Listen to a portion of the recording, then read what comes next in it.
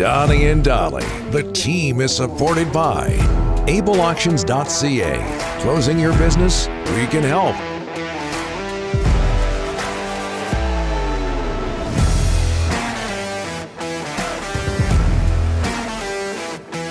Canadian lacrosse silver medalist John Horgan. How are you, sir?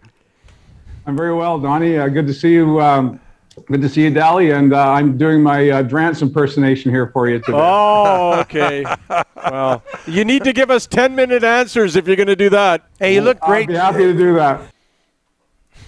John Horgan, just uh, uh, moments before he talked about uh, how his uh, health is uh, so much better. Happy to hear that. Congratulations to the Premier on that, and we thank him for uh, joining us yesterday as we bring in uh, Thomas Drance from The Athletic to talk about the Canucks and the National Hockey League. How do you feel about that, getting the shout out yesterday, Thomas, from the BC Premier? I'm tickled pink, which is why I'm wearing this shirt, gentlemen. Ah, perfect. the, uh, I, I appreciate getting roasted by the premier and Dhali in, in concert. Um, you know, I, I texted Rick and I said, did, did the premier just rip me? And he said, yeah, and then I did. and I said, yeah, Dhali, but that happens every day. It's not every day you get torched by the premier. That was no. special. No. Appreciate it. Yeah, yeah. Uh, uh, Thomas, Rick had some Canuck information uh, earlier today, which I'm sure you uh, fed to him. But uh, Brock, Brock Boeser and JT Miller, let's start with uh, JT Miller. Um, is he long for this hockey club? I think we've all sort of had a sense that if he was going to be long for this hockey club, if he was going to be around beyond this offseason, that it was going to require an extension. And from the team's perspective, honestly, when you look through everything they have coming and how they're positioned, when you look at the complication of the Boeser situation, which we'll get into, you look at the fact that you've got Miller and Horvat, excuse me, both expiring after next season, and also Nils Höglander. And then the year after that, you're looking at Pettersson, Podkolzin, uh, throw Kuzmenko in the mix if he hits. You know, the club really had two options. And, and this applies to both Miller and Bo Horvat. And that is to either get a team friendly extension done. And it has to be a team friendly extension, gentlemen, because the club just doesn't have the space to do, you know, to pay fair market value, to be totally honest with you, with some of their top six forwards who've outperformed their current contracts. And the bill comes due when you have that sort of run of success. You can't afford to pay all those guys and support them with the sort of depth you need to have if you're going to do more than, you know, be in the wild card spot in this league.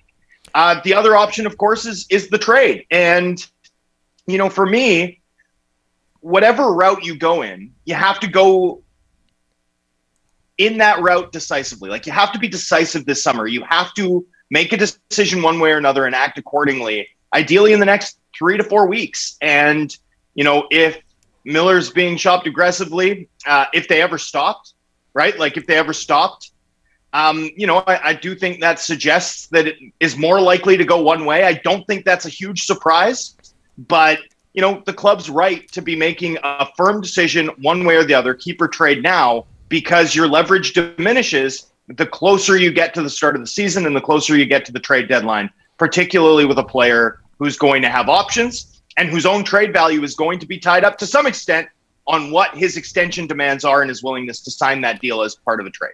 Thomas, uh, speaking of extension, uh, uh, Brock Boeser, uh, here we are. We're just, I, I think we're 10 days away from, they, they got to qualify him somewhere, somewhere around there. Uh, they are talking. With Two the, weeks. Yeah, two weeks. They are talking with the agent, Thomas. Uh, I don't get the sense they're close. Uh, what do you see happening there? So, with the Boeser situation, you have to sort of navigate it using various, varying degrees, varying shades of not great, Rick. Um, you know, the first sort of pressure point that they're coming up on is actually July 2nd, where the club has the option to elect arbitration uh, for Boeser. I don't expect them to do that. Arbitration is a deeply uncertain process. The, the benefit of it from a team perspective is that you can seek to reduce his compensation. They, they could get a little bit more than a million of relief going that route, but that relief isn't guaranteed. You cede the ability to choose the term to the player. Uh, and then and then you're committing to having cap uncertainty on a really important top line piece into the middle of the summer, which you know sucks. So uh, I don't see the club doing that. You also, of course, risk damaging the relationship. Uh, there's the trade option. I, I, suppose that's somewhat realistic, but the problem with that is that Boeser's qualifying offer makes him something of a distressed asset. This is a guy who's a 30 goal, 65 point per 82 game player over nearly 350 games in his NHL career to this point, And he's capable, like he's good enough as a two way piece too, that he can hold up in a matchup role. And if you trade him now, you're trading for cents on the dollar because his qualifying offer situation, which is so complicated, is also something other teams don't necessarily want to take on. You know, you get to the one year qualifying offer deadline, which is July 1. You tender him a qualifying offer. History indicates the most likely outcome for this is that the club will tender Boeser a $7.5 million qualifying offer. He'll accept that. That's one times 7.5. Uh, that's that's not great either. 7.5 is a is a lot of money. It's an inconvenient level to pay Boeser at. And then the final one is you don't tender him, in which case you lose a really valuable asset for nothing, something this club absolutely cannot afford to have happen considering how little value and how asset poor they have, you know, in the stables up and down the the sort of levels of this club. Um, none of those options are great, boys. Like none of those options are great, and the only possible outcome here that is in any way favorable for the team is finding a way to do a compromise deal, two or three years that reduces the cap hit. And to do that, you've got to make it worth Boeser's while uh, which is going to require a fair bit of creativity and, and honestly, probably a fair bit of upfront expense for the organization. It, it's a really tough one. Um, you know, I, am expecting at this point that the club qualifies him and that he accepts that. If they can manage any outcome better than that, that will be a huge home run for Jim Rutherford and Patrik Allvin.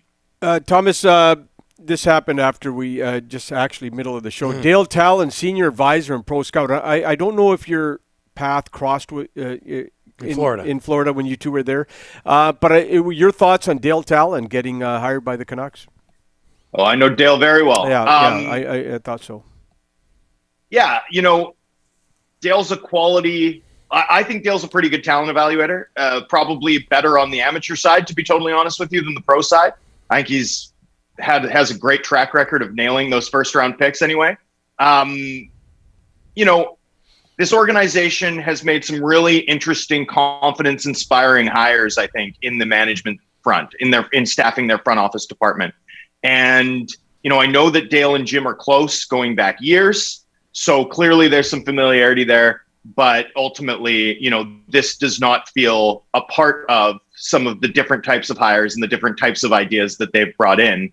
All of that said, you know, sometimes these pro scout senior advisor jobs are, are honorifics more than they are super impactful hires. Uh, I'm sure it'll be useful for Rutherford and Allvin to have an experienced hand to uh, talk shop with, I suppose, work through some some things with. But you know, this does feel like a different type of hire than than some of the other ones that this club has made in staffing their hockey operations group.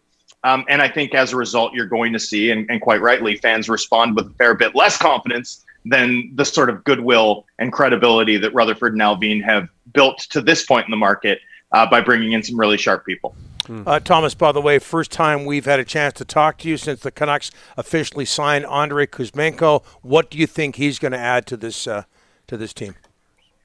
Yeah, you know, I'm not sure. Uh, the we'll see about the skating. We'll see how certain things translate uh, once he's in an NHL environment you know, looks pretty good at the net front on the power play for Ska, but it's a very different assignment, Donnie, uh, on the international ice sheet than it is, yes. you know, on on the NHL ice sheet. Particularly, you know, Kuzmenko makes a lot of plays behind the net. Well, net front guys in the NHL don't spend a lot of time there. They're they're sort of in the in the thick of things, uh, it, you know, in the dirty areas of the ice. I think there's a chance that his playmaking is really impactful at the NHL level. I think there's a chance that he has that Toffoli like impact at the net front for the Canucks on the power play. That would be a huge add. More than anything for me, though, whether he hits or not, right? Regardless, he's a low risk, high upside bet, the type of which the Canucks need to find seven or eight other bets like this to place over the next few years. Some of them, in fact, the majority of them will be misses. But if you keep stepping into that batter box and taking swings, you know, you'll probably hit a couple doubles. And this team could desperately use a couple of, you know, um, cost effective doubles here in filling out the, the depth and balance of this lineup. Thomas, thanks for this. We'll talk to you next week. I'll Anytime, say hi to the Premier. Cheers.